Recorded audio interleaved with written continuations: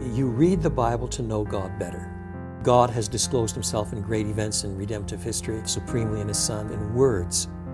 It is learning to think God's thoughts after him, to love what he loves, to cherish what he cherishes, to hate what he hates. Just as God disclosed himself in the first instance through his word when that word was heralded, so God personally discloses himself afresh in that word. You cannot see God, you can hear God. God speaks.